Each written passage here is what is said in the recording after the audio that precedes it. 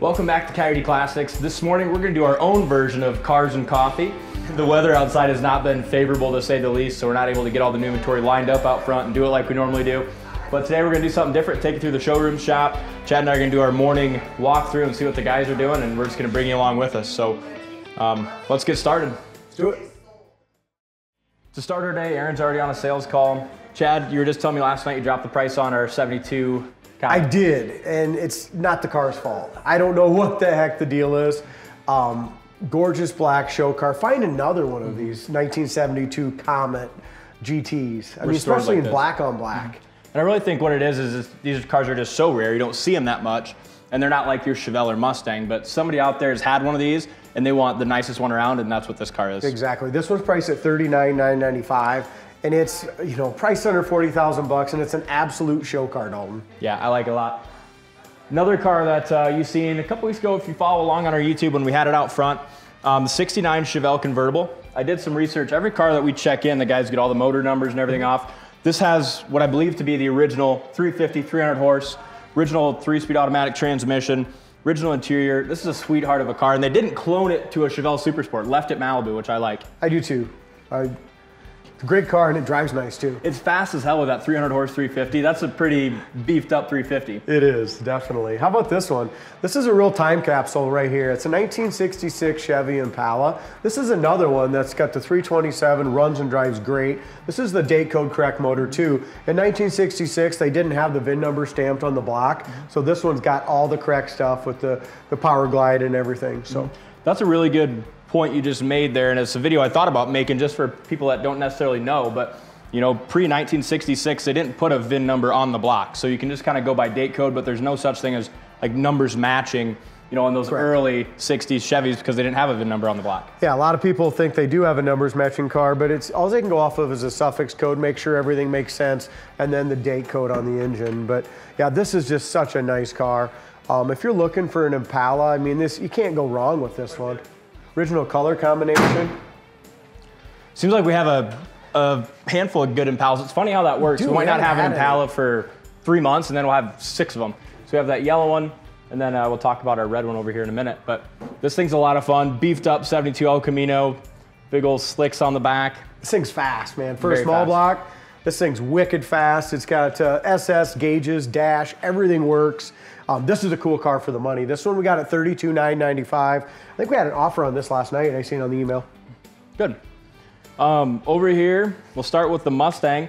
This is a show quality 1973 Mustang convertible. Love the color and just uh, really well done. I mean, it comes with a big show board the previous owners used. Take take the shows, won a lot of trophies with it. Yeah, that one's had the motor tranny all redone, underneath all painted black. That's an absolute show car. Mm -hmm. This car is I think, and people that watch a lot are going to give me shit, but my favorite car on the lot, because I say that about a lot of them, but this one really is. But right now it is. Right now it is. Original paint, big block, four-speed car, probably the most original and nicest 67 Impala that there is. I mean, find one of the original paint that looks like this. Uh, Michael did a great job buffing it out, and that interior is fantastic. The gauges are crystal clear. Mm -hmm. um, really nice car with a lot of power. It is. And all these cars, if you want to see more information on them than we're going to give you today, you can go to our website, coyoteclassics.com and see a full video, pictures, description, all the, all the information you want to know is on the website. Wow, look at this one. This one really cleaned up nice. 1972, believed to be original 442. Um, in 1972, you really couldn't tell if you had a, a factory 442 or not. Um, you know, that's the problem with those. Mm -hmm. But uh, as far as I can tell, this one is 354 barrel, a lot of power in it. Yeah. Non-numbers matching, but a great color combination. When Brady and I did the video yesterday, what did we have this thing at Brady? Like 95 mile an hour? What? And it, if we did, I keep, I'm sick of getting shit for not driving them fast. When I, whenever I drive them, you know, people think Chad always driving fast. So I had to show them that I can get, get the speeds up when I'm doing a test drive. This is a really straight car. Like you said, very nice turnkey driver, but nice enough you can take to any of your local car shows. And how about it sitting by this Trailer Queen 1970 real 442? Mm -hmm. um, Man, nice looking combo, huh? It is. And this 1970, you know, believed to be or could be original W30. It's got numbers matching trans. It's got the right M code in the VIN, which is the plant that, you know, all W30s were built. But with the W30 option, you can't tell unless you have an original build sheet. Also, we put some brand new wheels and tires on this. You guys at home have to tell us what you like better. We have both sets of wheels and tires. Both sets of wheels and tires um, come with the car at that price. It's a great car too, real deal. 60 Impala, um, runs and drives excellent.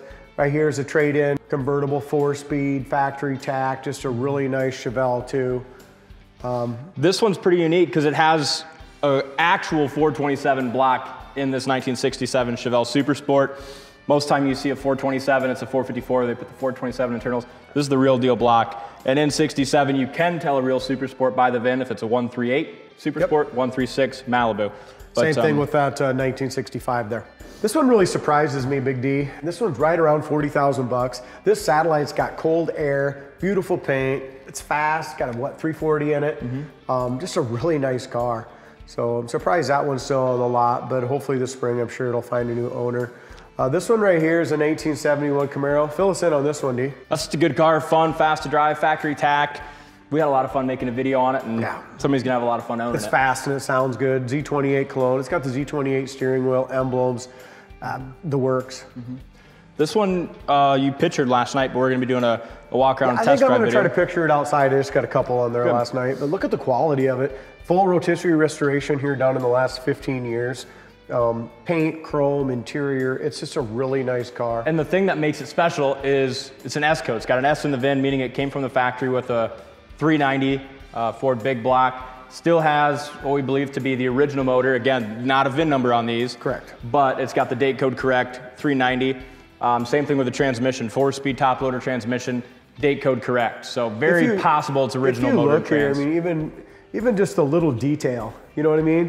I think under the hood, stuff like that, it's, it's just a gorgeous car. Make sure you go on our website, coyoteclassics.com. Check this one out underneath because the paint on the floors is really nice as well. Look how easy that hood shut too. I love that. We don't get many of these Fairlanes in. And then to get a S code, original red with black bucket seat interior, that interior is absolutely gorgeous, and I love that big factory shifter in there. No one's messed with this car. And a four-speed, I feel like, is, is pretty special in these two. We had one before. It was an automatic, um, and it was white. And then just a little information, they call the, uh, in these years, the uh, automatics were GTAs, mm -hmm. and the four-speeds were just GTs. Mm -hmm. So. Yeah, that's great. A little tidbit of information. Tidbit. I mentioned this before, guys, but uh, if you're one of our customers and you're a veteran, we'd love to put a picture of you on our wall here. We're gonna expand this to the whole dealership. Um, you know, and talk to one of our salesmen, man. If you're a veteran, you Send know, a we'll give a little give a little discount too. Morning, Colton. I'm gonna introduce you to Colton. He does all of our uh, Facebook, Instagram stuff. Um, if you haven't been on our Facebook, make sure you follow along. Colton put together a big March Madness bracket thing with some of our past inventory. We can go on there and vote and you know, we're going to find out who wins the championship. We down to the final four, Colton? Uh, yeah, that'll be dropping on Saturday. Final four this Saturday, so make sure awesome. you go to Facebook and vote. You know, we got most of those, uh, most every one of those had about 100 comments, so a lot of interaction there. It's the first year we did it, and so I really didn't know what to expect with how many comments and how many participation, you know, we'd get. But yeah, every post had 100 comments on it, so I appreciate everyone out there that you know, is playing along, but it's kind of a fun deal. Yeah. A lot of people engaged in it. Tell us about this Camaro, Mike. Well, this Camaro, it's a 68. Uh, picked it up from Minnesota a couple days ago. Um, I'm putting door seals in it. I'll get a give it a good paint job. It's going to look really, really good. According to Chad, it's fast. It is fast. It's got a lot of power and just a lot of fun, man. I took this out front and just kept going back and forth and back and forth up in front of the dealership, squealing tires. Yeah, it's fun. That's, That's what cool I car. did with that Chevelle, that two-tone Chevelle I bought, which you on YouTube will see probably next week. That car's the same way. I mean, just awesome. It's going to be affordable, fast, one of the best driving cars I've drove in a while. You know what? And that's really what we specialize in. I mean, we love the ones that are like that old 442 in there mm -hmm. that are halfway trailer queen versus show mm-hmm. car mm -hmm. driver.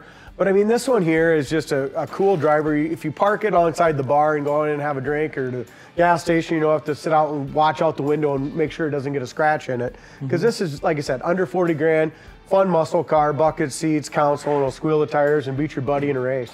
Riley's checking in 69 Firebird.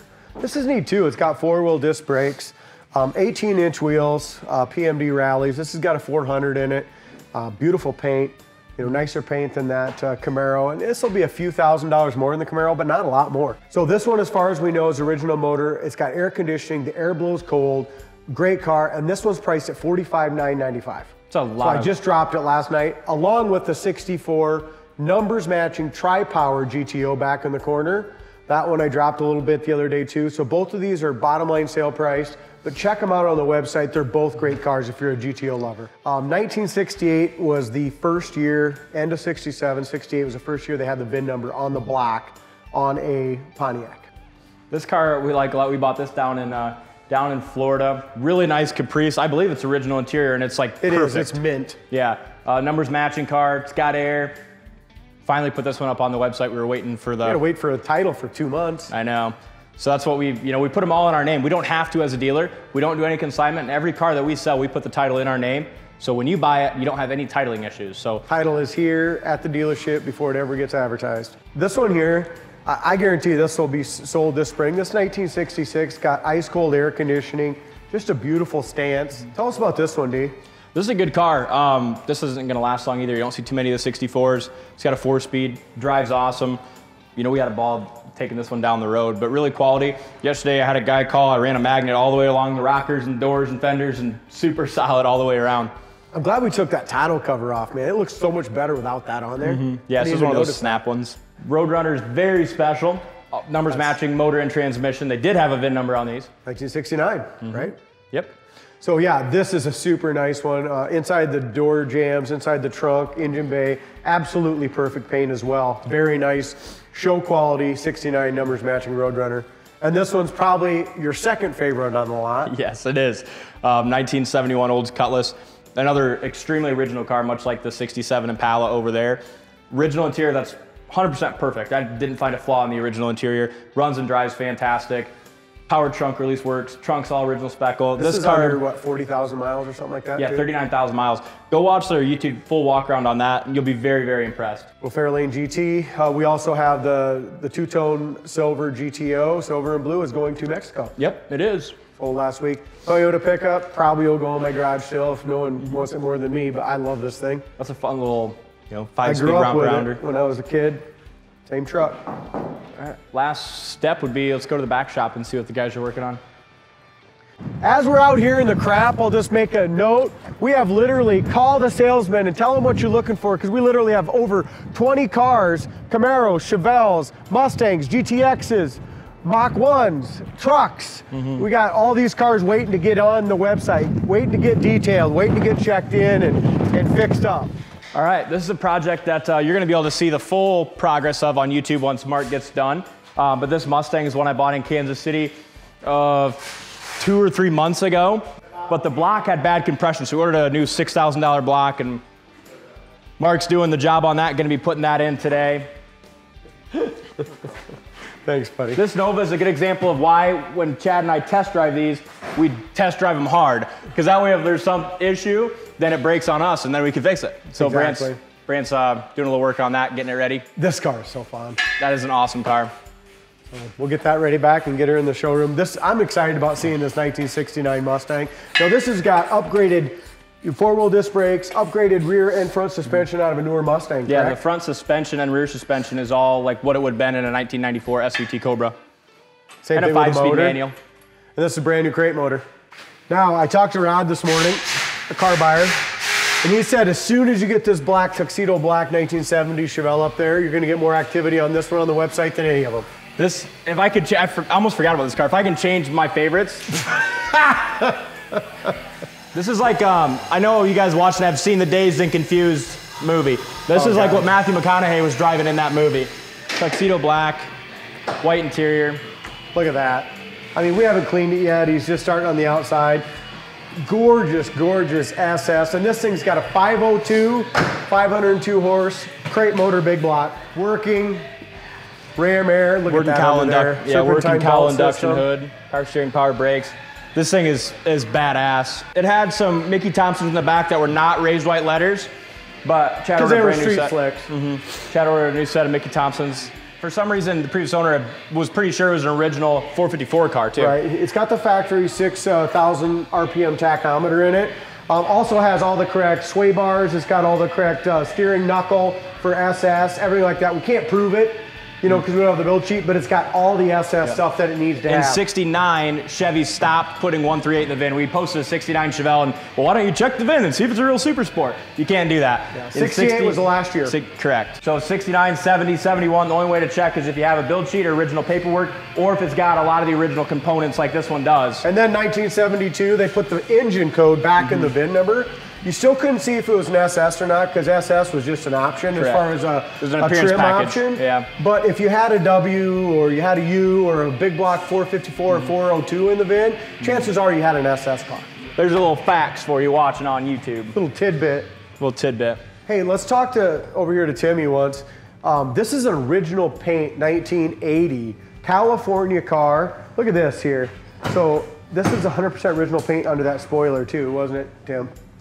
So he's buffing it out, doing a little bit of wet sanding around the edges, trying to get that uh, original paint looking as, as perfect as he can.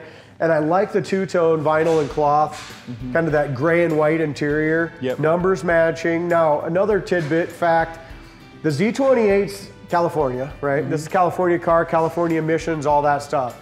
So the Z28 car, cars in 1980 came with 305s, the California cars. In California. If they weren't in California, they would have come with a 350. So this is a 305 four barrel California car. Z28. D28 done in its original paint, original interior, black, awesome color combination. The air conditioning blows cold. Um, super excited about getting this one done. But just like all the other cars, we bring them in, we check them over. Uh, we take the spoilers off. We're going to take that hood scoop all off and, and buff, Buff around that. So we do a lot of stuff to these to, to get them ready for your garage, to try to make them as good as we can. But at the end of the day, they're still an old car and nothing's perfect. Exactly. At the end of the day, there's still 50 year old parts in some of the car. Yeah, that's what you know. People got to keep in mind is no matter how much work has been done to a car, at the end of the day, they're still older than than Chad and I both. Yeah. And and uh, if the parts are newer, they're aftermarket parts too. You know what I mean? Yep, So who the hell knows? correct. Okay, there's one last car I'm gonna check out on our pit stop. We'll make it quick because it's cold out here. Now, that's cool, huh? Yeah, Looks like it's got a power antenna. it does. Nice. I put it up against that. No way. Yeah, serious. Fast. Fourth gear, that fucker still grab tires. He said it's the fastest car we got. He thinks Good it's job. as fast as my Corvette. You're kidding. Ah, he's on something. We'll have to try it. I'd like to run them. That's awesome. I talked to a guy last night, called on something else, um, and I told him we had this coming in, and he's pretty interested. That's a nice fucking car. Good, thanks, buddy. Top, bottom, inside out. Which one are you getting in next? That's good, D. I think you can get out. Factory tack dash. Hornworks. This thing's pretty special. Dustin went and picked it up Monday. It came in on trade. Came all the way from Indiana, right? Mm -hmm. Indiana, home of the Indianapolis Colts. Your favorite football team. You got a lot of favorites, D. I do. A lot of favorites. This might be, I'm gonna have to move all my favorites around after today. But this is very nice, big block, four speed. As soon as you get in the interior, even shift, it still has the correct slides and everything. That fucker's a go-getter some bitch. Exciting, huh? But like it runs true down the road, like it pulls a little bit to the left, like if you really hammer on the brakes, but like I checked all the brakes and it's got brand new brakes in the front. Rears are like 90%. All right, All right. I think that's gonna do it for uh, today's cars and coffee. Thanks for watching along. Hopefully soon the weather will be will be better and we can get all the cars out front and show you some of the new inventory that's coming in. But thanks for watching. If you enjoyed the video, make sure you hit that subscribe button. Comment down below what your favorite car is. You heard my three or four or five favorites. I want to hear what your one favorite is. So uh, let us know in the comments. What do you have to say, Dad? Man, just just like I said earlier, make sure that you talk to your salesman on exactly what you're looking for. Like I said, I had someone call last night. We got 22 cars sitting out there, and all of them are, but two of them are muscle cars. The other 2 are really cool trucks. Yep, they're all just waiting to run through the shop and do our check-in and go to the website. But yeah, give us a call. We might have what you're looking for. Thanks for watching, and we'll see you next time.